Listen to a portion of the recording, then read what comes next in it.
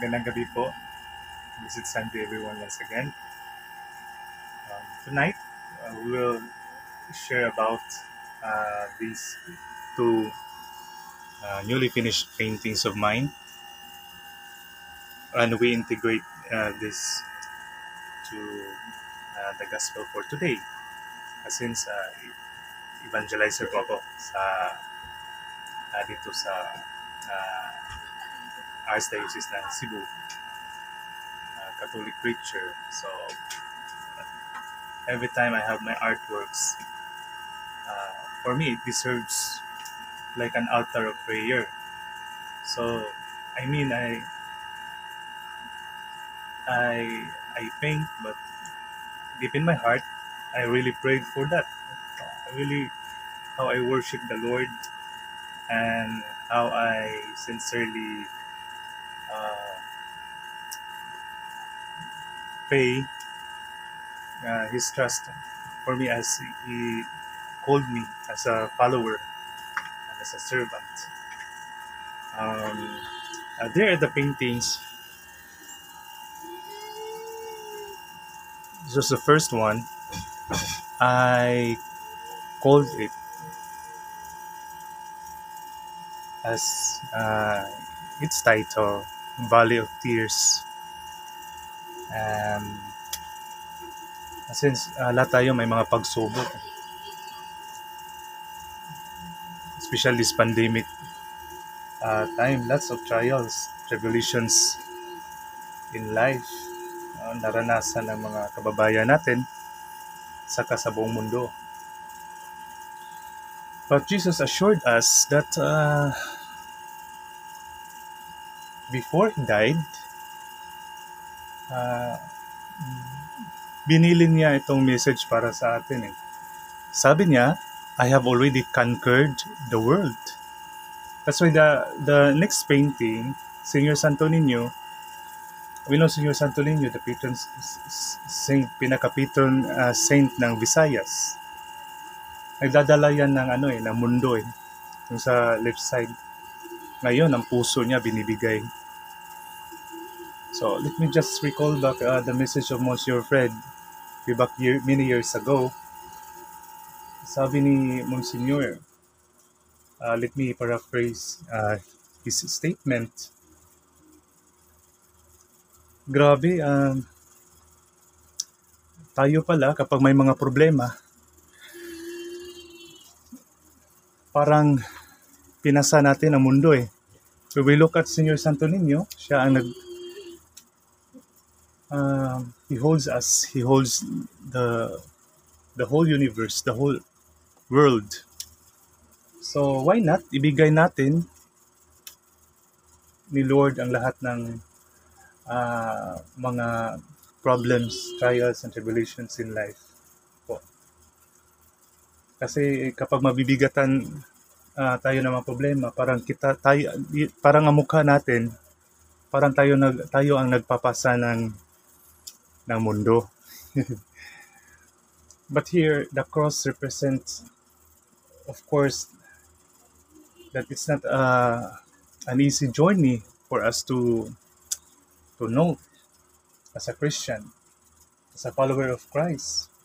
Like in the Catechism of the Catholic Church, 2099 to 2100, such as Jesus crucified, died, tayo rin magsasakripisyo din for uh, these three major re- reasons. Una, in atonement for our sins. Uh, kabayaran ng ating mga kasalanan. Si Lord Jesus nga, oh, siya ang nagsilbi ng ransom para tayo ay maliligtas.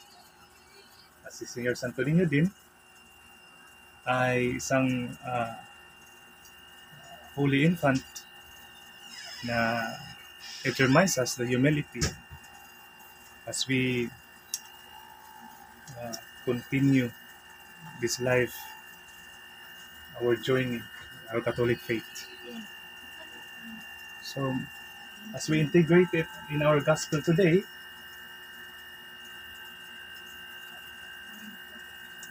Sabi rito, anyone who wants to save his life will lose it.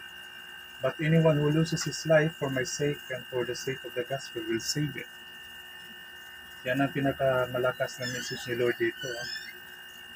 Kasi yung mga disciples or, or mga apostles niya, biglang nalungkot. Baka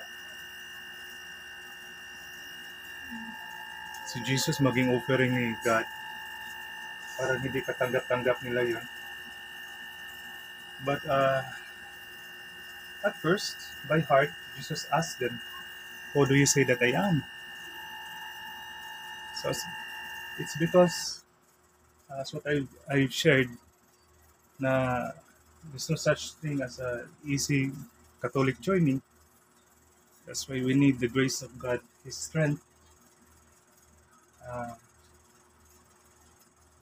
so that mamamatay man ng Panginoon, tayo ay bigyan niyang lakas patungo sa kanyang ah, kaharian. So, John 14:6, I am the way, the truth, and the life. Yan. Si Jesus Christ. Nagsimbolo ng sakripisyo at ang kanyang ah, suffering sa cross ay isang importanteng ah, commemoration ng isang uh, taus-pusong pag-ibig sa kanyang mga mga Kristiyano. Uh, second reason po, according sa Catholic uh, Catechism ng Katoliko, is that para rin tayo maging to live holy, holy life in order for us to become holy. That's why uh, si Your Santo Niño represented the, the holiness and also the purity and the humility. Kasi we live on solid ground. Eh. Uh, nung sinabi ni St. Paul, we should not live in the spirit but we should live or or any any picture as, as we uh, un- understood it. We should live, being a renewed Christian, we should live in the spirit, never with the flesh. That's why si San Pablo, sabi niya, It is no longer I who lives, but Jesus who lives in me. I can do all things through Jesus Christ who strengthens me. So that's it po. Hopefully po, nagagandahan po kayo sa video na ito. We offer this as uh, Blessed Sunday for everyone. Thank you so much. God bless po.